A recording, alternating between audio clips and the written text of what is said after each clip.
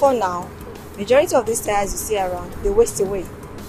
And this is source of wealth, from waste to wealth. A lot of people are being empowered at the factory. We can see how many people are working there.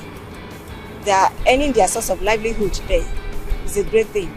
And the products they make from there, they can sell locally and they can sell internationally. Now we have solution for insulation.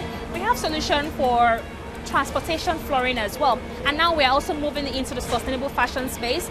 We're rolling out our flip-flops made from the same recycled tires.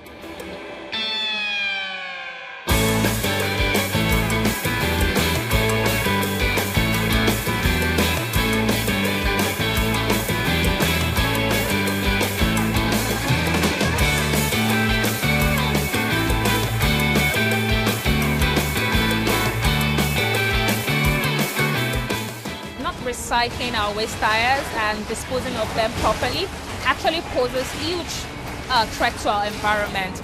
Um, over time, because the tires are non-biodegradable, they spend so much time in our dump sites, and you see in major dump sites, what happens over time is to make space for new waste, to, for new solid waste, we usually have to resort to burning them. And burning them will, will release CO2 emissions as well as other green, greenhouse gases, which are quite detrimental to our climate. And also some of the tires we've discovered end up in our drainages and during the raining season this contributes to flooding in some areas, especially in major cities like Lagos.